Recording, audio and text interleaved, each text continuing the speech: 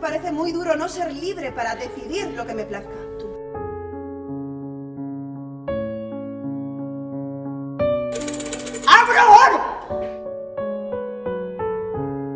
Me entregarás a cambio una libra de tu carne. Otra vez Noviembre Teatro en el teatro principal, que es casi ya nuestra segunda casa, una visita obligada.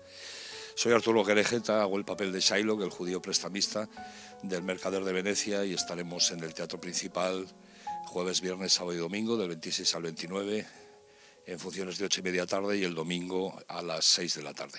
Bueno, fundamentalmente Yolanda Pallín lo que hace es que, que sigue un poco las directrices de, nuestro director Eduardo Vasco y Noviembre Teatro se caracteriza por, por eh, la acción y la palabra, ¿no? despoja uh, de, el texto de Shakespeare de las retóricas y de las referencias eh, de la época que ahora lógicamente no serían ininteligibles, pero el, el texto, la palabra, la profundidad, la hondura de, de, Shakespeare sigue estando exactamente, exactamente igual, exactamente vigente. Las hemos estrenado en el Teatro Calderón de Valladolid y por fin eh, la contrastamos con el público y la verdad es que con, como se dice vulgarmente, pero es que es verdad, con éxito de crítica y de, y de público, nunca sabes cómo va a salir la criatura, pero esta vez nos ha vuelto a salir estupendamente bien. Hemos ido por el Lope de Vega de Sevilla, la Comunidad de Madrid, hemos llenado el Lope de Vega de Sevilla, venimos de, del Teatro Cuyás de Las Palmas y seguimos de gira permanente y la verdad es que nos está yendo espectacularmente bien en, en, en todos los espacios, en todas las plazas. Siempre llevamos música en directo, eh, siempre decimos que somos 10 actores y un piano, porque es que el piano es uno más de la, de la compañía. ¿no?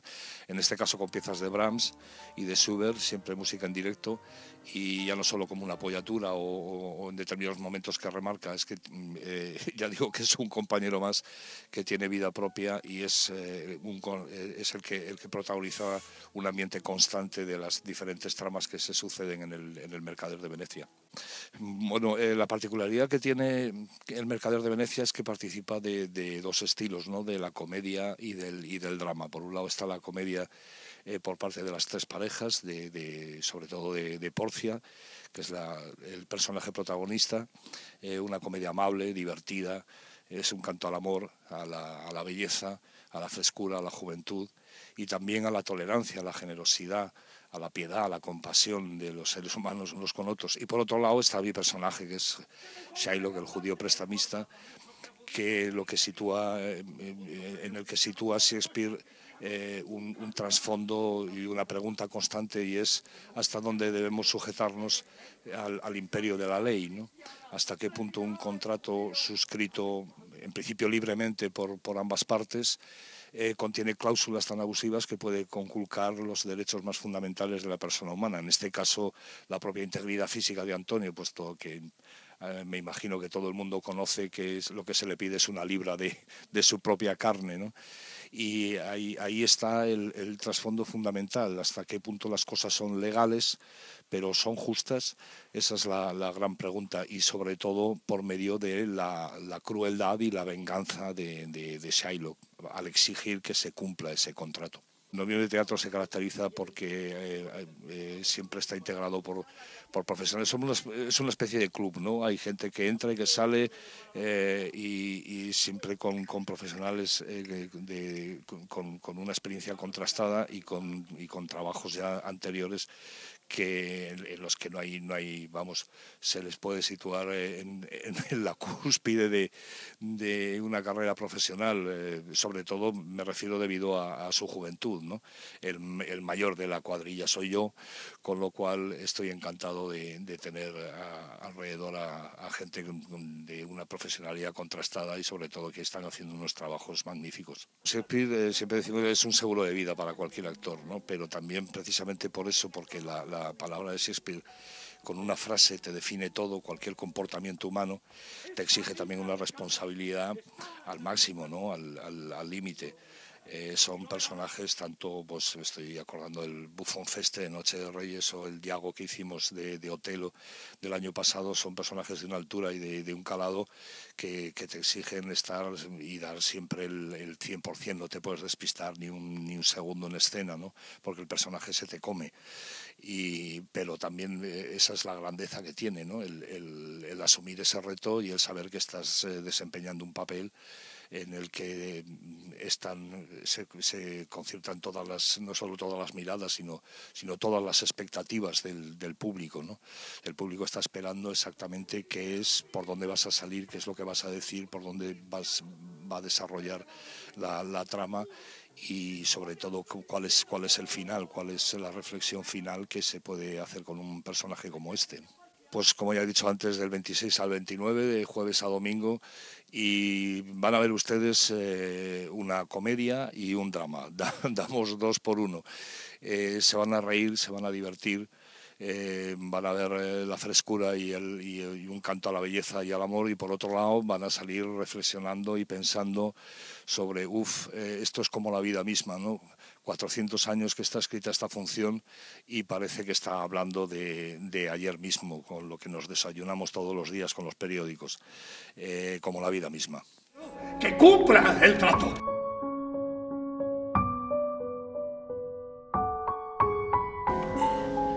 Tu amor con un beso. No quiero que me molestes más.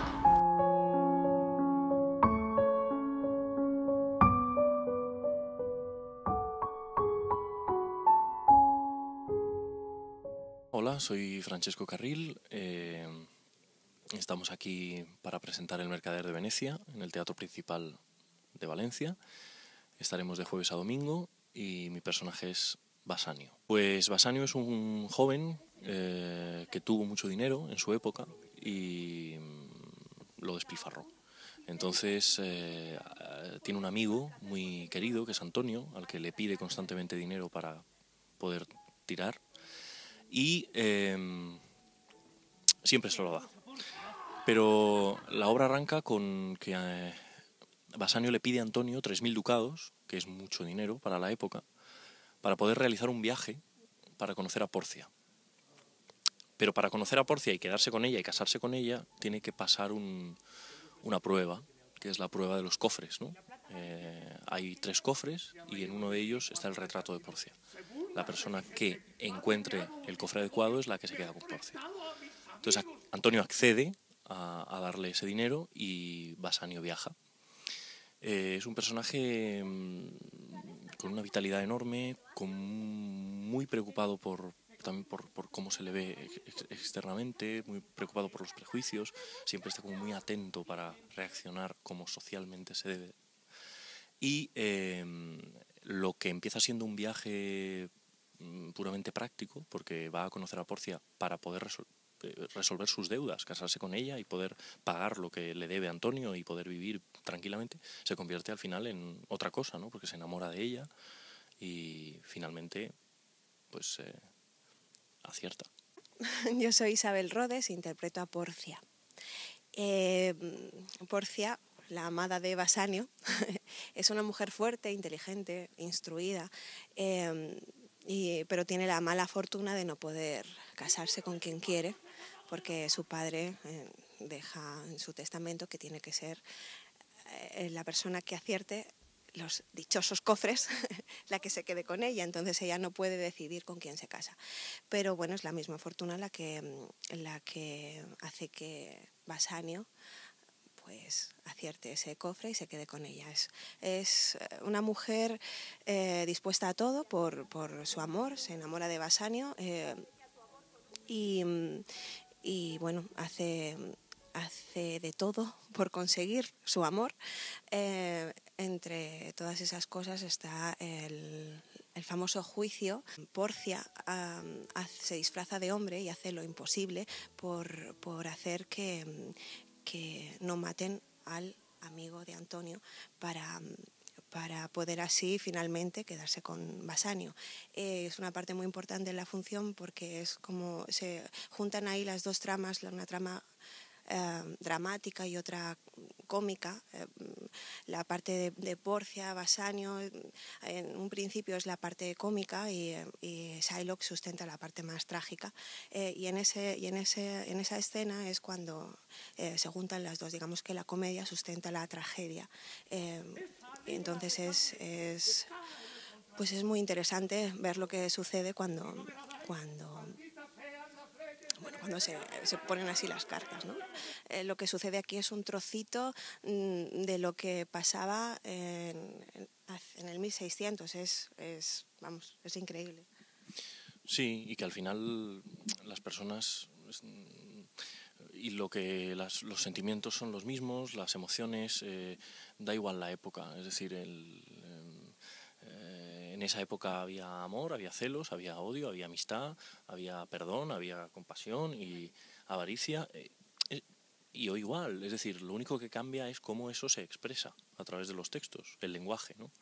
Pues hoy hay una forma de escribir, o, lo vemos dicho con nuestro idioma en el, y, en, habla, digamos, cotidiana, pero, pero en el siglo de oro pues se expresaban las cosas de otra manera, pero al final es lo mismo. Por eso es muy importante, yo creo, en hacer esos textos desde nuestra energía de hoy ¿no? y transmitirlos desde, desde lo que somos hoy, porque al final es la única manera de hacer esos textos vigentes ¿no? y vivos y necesarios también. Es decisión de este tribunal que te cobres una libra de su carne. ¿Has oído la sentencia?